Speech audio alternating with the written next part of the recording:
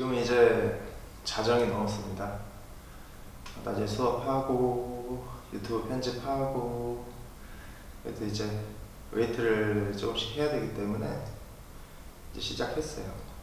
그동안은 이제 실전 외에는 이제 중량 운동을 안 했었는데 이제 슬슬 어, 시작을 해야 때가 된 것 같습니다. 그래서 오늘 이제 제 특히 이제 사이드 방향 쪽 예전에는 어깨를 많이 안 쓰려고 그랬는데 지금 좀 개입을 일부러 조금 시키고 있어요. 어, 그래서 사이드 운동, 다음에 인사이드 쪽 훈련, 다음에 백 방향, up pressure 방향 이렇게 훈련 좀 해보려고 합니다. 이건 이제 제가 쓰는 방법인데 도복끈, 도복띠라든지 일반적인 끈을 이렇게 해서 살짝 틀어서 잡고요. 어, 위쪽과 밑에 쪽의 균형을 의도하는 쪽을 좀 잘 맞춰야 돼 장력을 내가 위를 좀 더 주고 싶다 그러면 이쪽 위쪽에다가 조금 더 장력을 걸고 이쪽에 주고 싶다. 이쪽 밑에다 조금 장력을 거시면 됩니다. 이렇게 해서 애시당초 어, 원하는 각을 맞춰놓은 상태에서 들어가는 거죠. 둘, 셋, 넷, 다섯, 여섯, 일곱, 여덟, 아홉, 열.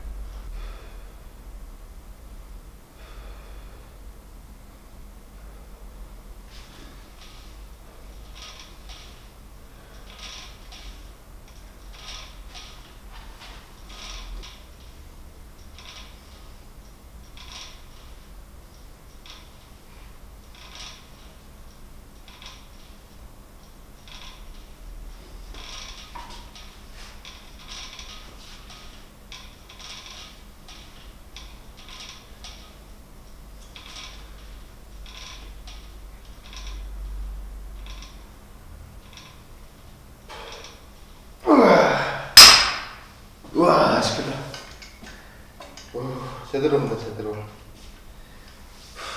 어, 오랜만에 느껴보는 감각인 것 같아요. 이렇게 웨이트 통해서 어, 펌핑 되는 그 느낌이 되게 오랜만인 것 같습니다. 아 그리고 제가 최근 들어서 이제 느끼는 거는 뭐냐면 웨이트 훈련에서 이제 유튜브에도 나오는 것도 그렇고 중량을 많이 드는 거를 되게 선호하시는 분들이 계신데 그런 것보다도 이제 늘리는 건 좋아요. 늘리는 건 좋은데 내 컨디셔닝이 이제 첫 번째인 것 같아요. 어, 내 컨디션이 저하되거나 회복하기 어려운 상태의 부하를 준다는 것 자체가 우리가 생각하는 기준보다 낮아요. 그러니까 어, 요새는 제가 그렇게 부하를 어, 뭐 중량이나 볼륨 자체를 높이지 않는 어, 그런 식으로 이제 훈련을 하는 게 어떤가라는 생각을 좀 많이 하게 됩니다. 여러분들께서도 그래서 이것저것 다 해보셔야겠지만 너무 이제 고중량에만 연연하지 마시고요. 그리고 볼륨도 마찬가지예요. 하고 나서 그 다음날, 그 다다 다음날 뭐 어, 되게 좀 좋은 느낌으로 힘이 좀 끌어올라온다. 그게 아마 가장 좀 좋지 않나 그렇게 생각을 합니다. 이제 근력 올린 데도 마찬가지고. 자, 했던 거 한번 더 해볼게요. 되게 오랜만에 하는 것 같아서. 오.